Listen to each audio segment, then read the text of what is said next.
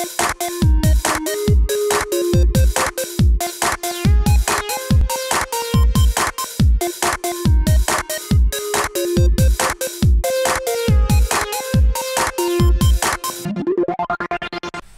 guys, I'm Bauer. I'm the Young Adult Service Assistant at the Clinton-Macomb Public Library, and today we are going to make air circuit cards. So because this test is very tedious and very time consuming, um, I made a lot of instruction. I made a lot of mistakes trying to um, just make one of these.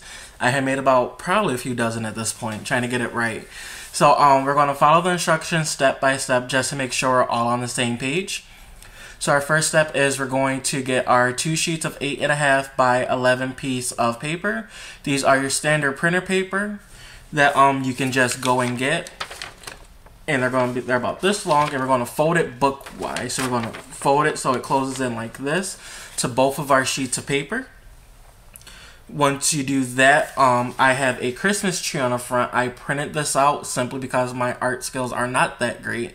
And I printed off two of these um, because it'll be easier to map up my circuit, which you will see in a little bit. And if you choose not to print one out, you can draw one freehand, color it. If you like a template, you can look on the CMPL website under the YA page and find some through there. Um, if you do decide to color it or freehand it, please do that first. If you wait till the end, you do risk ruining your circuit and potentially not getting it to work. And once you see how long of a process it take, you will hate yourself for it, like I did at some points. So um, once we fold our pieces, once we color it and everything, um, you can pause it here to continue. Coloring and everything, and once you unpause it, we'll be on our next step. So our next step will be um, we're going to grab our main piece of paper, the one we drew on, and you're going to poke holes in it on where you want your LED to go. I'm doing just one circuit, so I have just one hole in my star. Um, you want to make sure the hole is big enough to where your LED light will fit through without problem, without a problem. Um, then once we do this, we're going to fold um, our other paper and have it inserted into our first one. So you're going to take this one and open it, and then you're just going to take your other one on the other piece of paper and just put it inside. So what's going to happen is we're going to put our circuit on this page.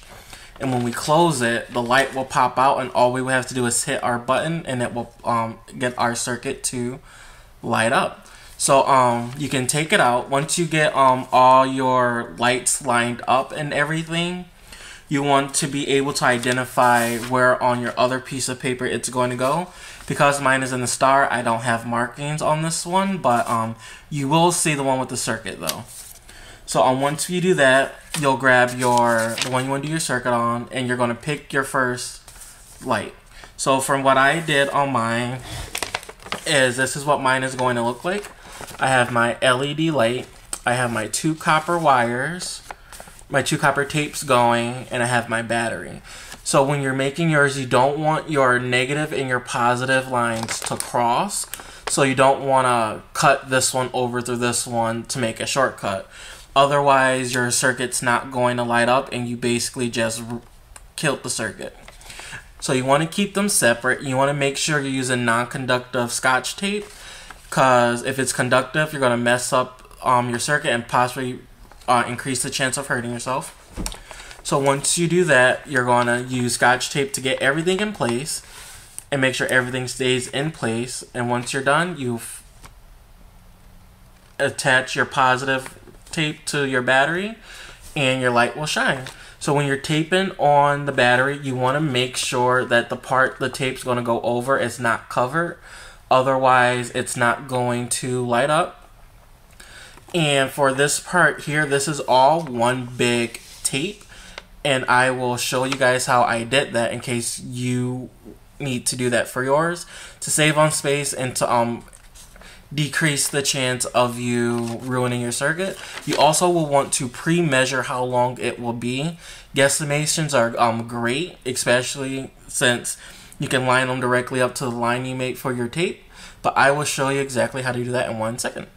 Alright, so if you want to get your copper wire to make that turn like mine did, So when we're going to recreate this corner right here, just so you can see how I did it.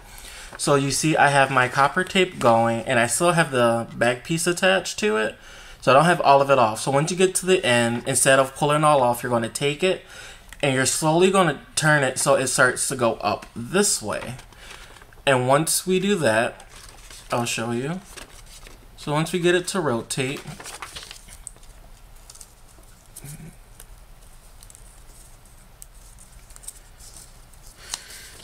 you would get this right here. So it's nothing's covered. Uh, this isn't attached. Only this part where my finger is attached, and you're just gonna go down this way and push down on your tape to get it to stay in place. Uh, be very careful at this part because you don't want it to um, bend as it's going down. And once you make it start going down, you have your nice solid corner piece and then it's very easy to make your turns doing that especially if you're using multiple lights. If you're using multiple lights your positives can connect to the same strip um, but you still need to keep them separated. There are videos out there that shows you how to do that but for this this is just um, so you can get your one circuit done. Um, very easy very simple. So now that um, once you get to this part and your circuit's done and your light is shining, you'll take your main piece in your circuit and just going to insert them to wherever it's supposed your light is supposed to go is where your cart's going to go. Oh, it fell. Uh oh. So now that my light is in there, you can tell that it's in there because you can see the circuit right underneath you can see that the page is still folded. So all we're going to do is apply pressure to where it is. And we got our circuit to light up. So um, it's a very difficult test, especially the first few times around. So if I would suggest looking up videos first, make sure you have it down, make sure um, your circuits are all connected if you have to test it as you go make sure because once you get to the very end the tape is very hard to get off the paper and you'll practically have to restart. But i hope you enjoyed this and i can't wait to see you guys next time for our next craft